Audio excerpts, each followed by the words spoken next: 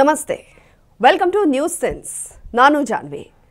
ವೀಕ್ಷಕರೇ, ಇದುವರೆಗೂ ಯಾರೆಲ್ಲ ಟಿ ವಿ ವಿಕ್ರಮ ಯೂಟ್ಯೂಬ್ ಚಾನಲ್ಗೆ ಸಬ್ಸ್ಕ್ರೈಬ್ ಮಾಡಿಲ್ವೋ, ಈ ಕೂಡಲೇ ಸಬ್ಸ್ಕ್ರೈಬ್ ಮಾಡಿ. ಹನುಮ ಧ್ವಜವನ್ನು ಹಾರಿಸೋದಕ್ಕೆ ಬಿಡದೆ, ತನ್ನ ಹಿಂದೂ ವಿರೋಧಿ ಬುದ್ಧಿನ ಮತ್ತೊಂದು ಸಲ ಜಗಜ್ಜಾಹೀರು ಮಾಡಿದೆ ರಾಜ್ಯದ ಸಿದ್ದರಾಮಯ್ಯ ಗೌರ್ಮೆಂಟ್. ಇವತ್ತು ರಾಜ್ಯಾದ್ಯಂತ ಬಿಜೆಪಿ ಹಾಗೂ ಹಿಂದೂ ಸಂಘಟನೆಗಳು ಬೀದಿಗಿಳಿದು ಪ್ರತಿಭಟನೆ ಮಾಡ್ತಾ ಇವೆ. ಹನುಮ ಧ್ವಜವನ್ನ ಮತ್ತೆ ಆರೋಹಣ ಮಾಡದೆ ಬಿಡೋದಿಲ್ಲ ಅಂತ ಶಪಥ ಕೂಡ ಮಾಡಿದ್ದಾರೆ. ಕಾಂಗ್ರೆಸ್ ಸರ್ಕಾರ ಒಂದು ಕಡೆ ಹನುಮ ಧ್ವಜ ಹಾರಿಸೋದನ್ನ ತಡೆದಿರೋ ಪರಿಣಾಮ ಇಡೀ ರಾಜ್ಯದ ತುಂಬ ಹನುಮ ಧ್ವಜ ಹಾರಾಡೋದಕ್ಕೆ ಶುರು ಮಾಡಿವೆ.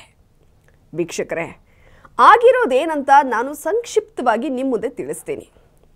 ನಾನು ಸರ್ಕಾರದಿಂದ ಸರ್ಟಿಫೈ ಆಗಿರೋ so called secular newspaper so called ವಸ್ತುನಿಷ್ಠ ದಿನಪತ್ರಿಕೆ ಪ್ರಜಾವಾಣಿಯ ವರದಿಯನ್ನೇ ಆಧಾರವಾಗಿಟ್ಕೊಂಡು ಇವತ್ತು ನಿಮಗೆ ಅಲ್ಲಿ ನಡೆದಿರೋ ಘಟನೆನ ವಿವರಿಸ್ತೀನಿ. ಮಂಡ್ಯ ಜಿಲ್ಲೆಯ ಕೆರಗೋಡ್ ಅನ್ನೋ ಗ್ರಾಮದಲ್ಲಿ ಗ್ರಾಮಸ್ಥರೆಲ್ಲ ಹಣ ಒಟ್ಟು ಮಾಡಿ ಸ್ವಂತ ಖರ್ಚಲ್ಲಿ ನೂರ ಎಂಟಡಿ ಎತ್ತರದ ಧ್ವಜಸ್ತಂಭನ ಸ್ಥಾಪಿಸ್ತಾರೆ.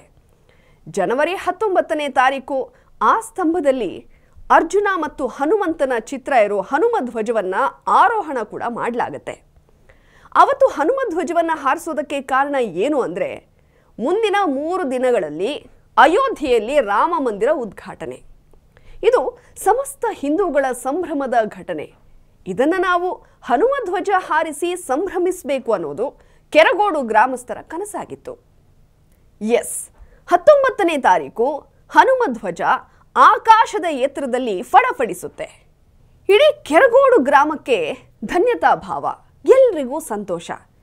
ಈ ಧ್ವಜ ಹಾರಿಸಿದ್ದಕ್ಕೆ ಕೆರಗೋಡಲ್ಲಿ ಯಾವ ಕೋಮು ಗಲಭೆ ಕೂಡ ನಡೆದಿಲ್ಲ. ಯಾರಿಗೂ ಬೇಸರ ಕೂಡ ಆಗಿಲ್ಲ.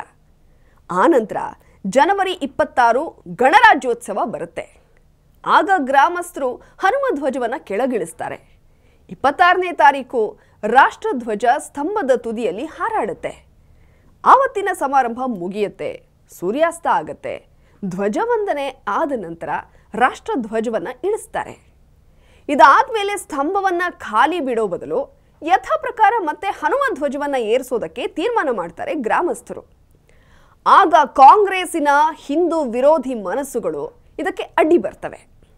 ಇಲ್ಲಿ ಹನುಮ ಧ್ವಜ ಹಾರಿಸೋದಕ್ಕೆ ಬಿಡಲ್ಲ, ಕೋಮು ಪ್ರಚೋದನೆ ಆಗೋದಕ್ಕೆ ಬಿಡಲ್ಲ, ಈ ಕಂಬ ಇರೋದು ಕನ್ನಡ ಧ್ವಜ ಅಥವಾ ರಾಷ್ಟ್ರಧ್ವಜ ಮಾತ್ರ ಹಾರಿಸೋದಕ್ಕೆ ಬೇರೆ ಬಾವುಟ ಹಾರೋದಕ್ಕೆ ಬಿಡಲ್ಲ ಅಂತ ಪೊಲೀಸರನ್ನೆಲ್ಲ ಕರೆಸಿ ತಡೆಯಲಾಗತ್ತೆ. ವೀಕ್ಷಕರೇ, ಈ ಸ್ತಂಭ ಸ್ಥಾಪನೆ ಮಾಡೋದಕ್ಕೆ ಸರ್ಕಾರ ಹಣ ಕೊಟ್ಟಿಲ್ಲ. ಗ್ರಾಮಸ್ಥರು ಇದನ್ನ ಕೇಸರಿ ಧ್ವಜ ಹಾರಿಸೋದಕ್ಕೆ ಅಂತಾನೆ ಹಣ ಒಟ್ಟು ಮಾಡಿ ನಿಲ್ಲಿಸಿರೋದು ಕೇವಲ ಜಾಗ ಮಾತ್ರ ಸರ್ಕಾರಿ ಜಾಗ. ಜಾಗಕ್ಕೆ ಪರ್ಮಿಷನ್ ತಗೊಳ್ಳುವಾಗ ಕನ್ನಡ ಧ್ವಜ ಅಥವಾ ರಾಷ್ಟ್ರಧ್ವಜ ಮಾತ್ರ ಹಾರಿಸಬೇಕು. ಧರ್ಮ ಪ್ರಚೋದನೆ ಮಾಡೋ ಹಾಗಿಲ್ಲ. ಕೋಮು ಗಲಭೆಗೆ ಅವಕಾಶ ಆಗೋಕೆ ಬಿಡಲ್ಲ ಅಂತೆಲ್ಲ ಷರತ್ತಿಗೆ ಸಹಿ ಹಾಕಿಸಿಕೊಂಡು ಪರ್ಮಿಷನ್ ಕೊಟ್ಟಿರೋದು ನಿಜ.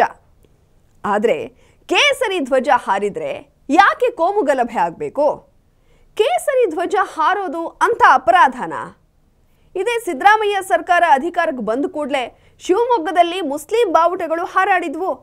ಔರಂಗಜೇಬನ ಕಟೌಟ್ ರಾರಾಜಿಸಿದ್ವು. ಬೃಹತ್ ಖಡ್ಗಗಳು ಮಿರಿಮಿರಿ ಮಿಂಚಿದ್ವು. ಆಗ ಕೋಮು ಪ್ರಚೋದನೆ ಅಂತ ಈ ಕಾಂಗ್ರೆಸ್ ಸರ್ಕಾರ ಕನಸ್ಲಿಲ್ವಾ? ಶಾಲೆಗೆ ಹಿಜಾಬ್ ಹಾಕೊಳ್ಬಹುದು ಅಂತ ತುಂಬಿದ ಸಭೆಯಲ್ಲಿ ಸಿದ್ದರಾಮಯ್ಯ ಪರ್ಮಿಷನ್ ಕೊಟ್ರಲ್ಲ, ಅದು ಯಾವ ಕೋಮಿನ ಓಲೈಕೆ?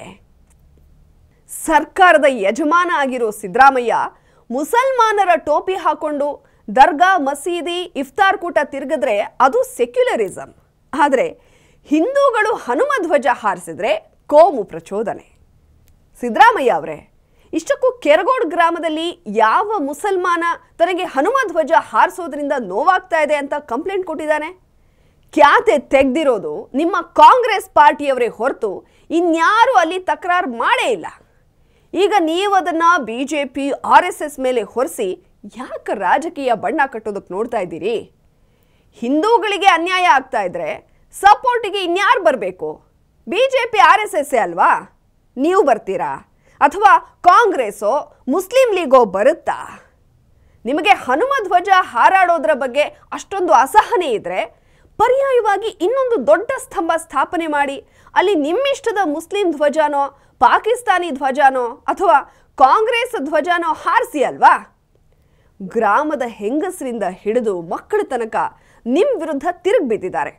ಅಲ್ಲಿರೋ ಪ್ರತಿ ಹಿಂದೂ ಮನಸ್ಸಿಗೂ ನಿಮ್ಮ ವರ್ತನೆಯಿಂದ ಹರ್ಟ್ ಆಗಿದೆ. ಇದನ್ನು ಸೂಕ್ಷ್ಮವಾಗಿ ಬಗೆಹರಿಸೋದು ಬಿಟ್ಟು ಬೆಂಕಿ ಹತ್ಕೊಳ್ಳಿ ಅಂತ ಇನ್ನಷ್ಟು ಪ್ರಚೋದನೆ ಕೊಡ್ತಾ ಇದ್ದೀರಿ. ಹಿಂದೂಗಳು ಕೆರಳೋ ಹಾಗೆ ಮಾಡ್ತಾ ಇದ್ದೀರಿ. ಶ್ರೀರಾಮನ ವಿರುದ್ಧ ಅವಹೇಳನ ಮಾಡ್ತಾನೆ ಬಂದ್ರಿ.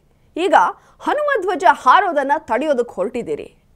ತಪ್ಪುಗಳ ಸಂಖ್ಯೆ ಜಾಸ್ತಿ ಆಗ್ತಾನೇ ಇದೆ. ಪಾಪದ ಕೂಡ ಇಂಚಿಂಚಾಗಿ ತುಂಬುತ್ತಾನೆ ಇದೆ. ಸಿದ್ದರಾಮಯ್ಯನವರೇ, ಇದಕ್ಕೆ ಭಾರಿ ಬೆಲೆ ತಿರಬೇಕಾಗತ್ತೆ. ಬರೆದಿಟ್ಕೊಳ್ಳಿ. ನ್ಯೂಸ್ ಸೆನ್ಸ್ ನಿಮಗೆ ಇಷ್ಟ ಆಗಿದ್ರೆ ಲೈಕ್ ಮಾಡಿ ಶೇರ್ ಮಾಡಿ ಕಮೆಂಟ್ ಮಾಡಿ. ನೀವಿನ್ನೂ ನಮ್ಮ ಟಿ ವಿ ವಿಕ್ರಮ ಚಾನಲ್ಗೆ ಸಬ್ಸ್ಕ್ರೈಬ್ ಮಾಡಿಲ್ಲ ಅಂದರೆ ಈ ಕೂಡಲೇ ಸಬ್ಸ್ಕ್ರೈಬ್ ಮಾಡಿ.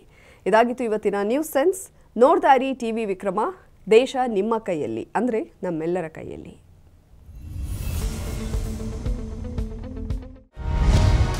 ಟಿವಿ ವಿಕ್ರಮ ದೇಶ ನಿಮ್ಮ ಕೈಯಲ್ಲಿ. ಈ ಕಾರ್ಯಕ್ರಮ ನಿಮಗೆ ಇಷ್ಟ ಆಗಿದ್ದಲ್ಲಿ ಲೈಕ್ ಶೇರ್ ಹಾಗೂ ಕಮೆಂಟ್ ಮಾಡಿ. ಟಿವಿ ವಿಕ್ರಮದ ಕಾರ್ಯಕ್ರಮಗಳನ್ನು ನಿರಂತರವಾಗಿ ವೀಕ್ಷಿಸಲು ಸಬ್ಸ್ಕ್ರೈಬ್ ಮಾಡಿ ಬೆಲ್ ಐಕನ್ ಒತ್ತಿ.